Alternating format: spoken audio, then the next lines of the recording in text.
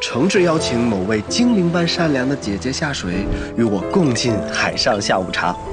如果她想没收陆景和先生这辈子能吃到的所有冰淇淋。哼，也不是不行。比如说我想从躺椅上下来，你一直抱着我的胳膊不让我走。我要是不说，你要在这里趴到世界末日呀。